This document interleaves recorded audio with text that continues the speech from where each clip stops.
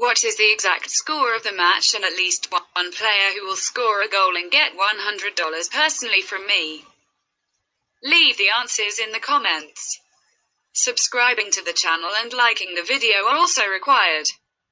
We register by reference in the attached comment. Enter the promotional code. We get an advance rate on your account.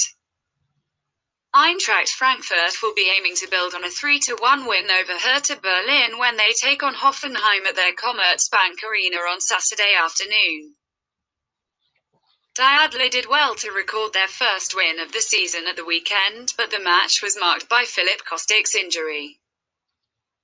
The pacey Serbian winger is out of contention for the Hoffenheim game, but seeing that the attacking partnership of Dost and Silva has been in a perfect working order at the start of the season, we are positive that the hosts are going to find the net against Hoffenheim. The visitors, on the other hand, did well to shock Bayern München at the weekend, with the team rolling over the title holders 4-1.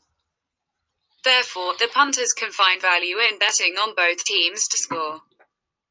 In their last meeting in the German top flight Eintracht Frankfurt recorded a 2-1 win over Hoffenheim. Prediction